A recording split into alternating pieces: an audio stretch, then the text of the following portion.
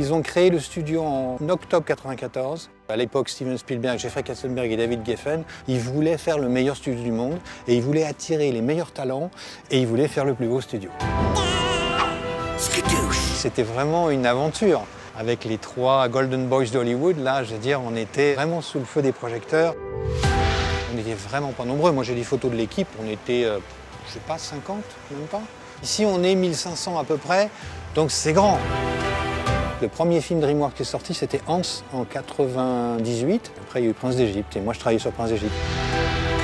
Donc au début, on a fait des films en 2D. Et l'animation 2D, elle était sur la pente descendante à l'époque, alors que la 3D montait.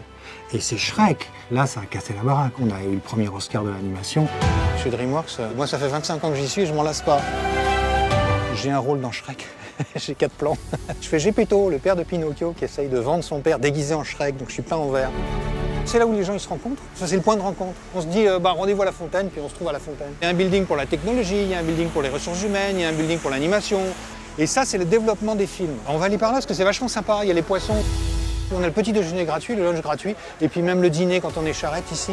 Et là, on peut manger ici. Avec, il y a des tables ici, on peut manger de partout.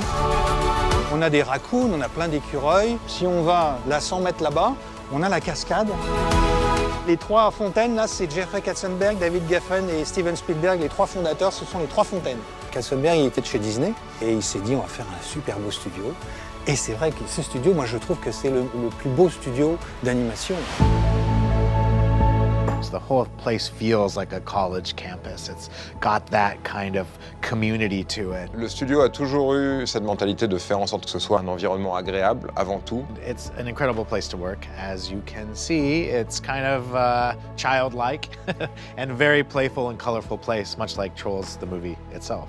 There's a little bit of subversiveness, I think, tonally to all the DreamWorks movies. That's why I was attracted here. On a eu Abominable, Dragon et Troll. Les trois films sont vraiment des films complètement différents, avec des thématiques différentes, avec, un, avec une ambiance complètement différente.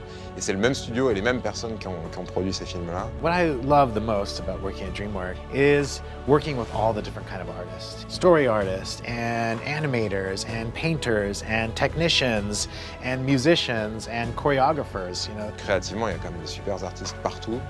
Donc c'est vrai qu'on s'en lasse pas. Quoi. Nous, on est connus pour le côté irrévérence, le côté euh, pop culture et tout ça. On essaye toujours de combiner humour et émotion. Deux humours différents dans chaque film. C'est on a un humour vraiment pour les adultes et un humour vraiment pour les enfants. Et le studio a vraiment une envie et une tendance à, à vouloir changer un peu le moule dans lequel on s'est mis euh, à chaque film en fait.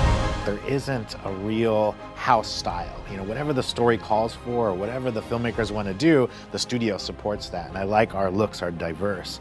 But one thing they all share in common is this mark of excellence. I mean, we have all of the best artists working here and all of the latest technology. So definitely every movie just looks amazing and it's pushed to the furthest of technology we can get. So real quality images with a heart and a message all underneath.